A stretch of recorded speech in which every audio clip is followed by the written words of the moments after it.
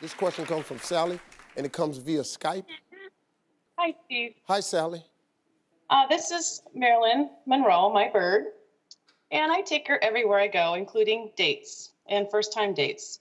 So I've got a dating etiquette question. Um, she kind of tells me and reads me the people and if they're good or not good. So my question is: Is it okay to bring this bird with me on a first date?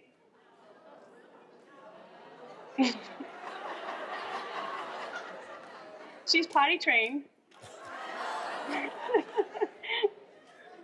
You making dating decisions on a bird?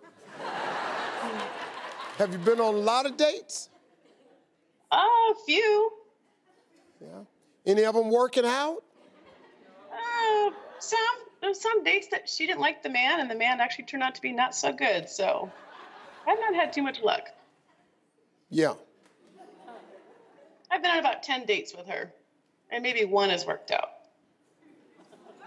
Well, They just don't like animals, so they're gone. might not be the date.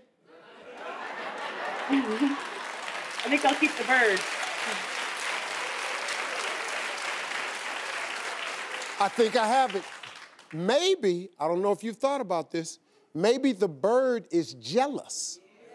And the bird is driving the men away because the bird loves you so much. Good point. Can she say something? She might This is crazy. if she's in the mood. Cuckoo,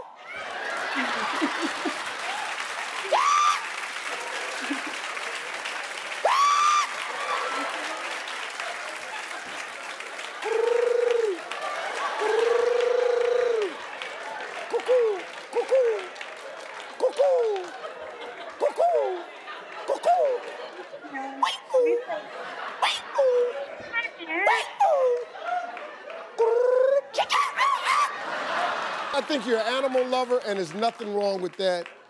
And I, I think you you seem perfectly happy with your bird. You know, just ride that on out. See how? Yeah, they're kinder. I know that. Thanks for calling.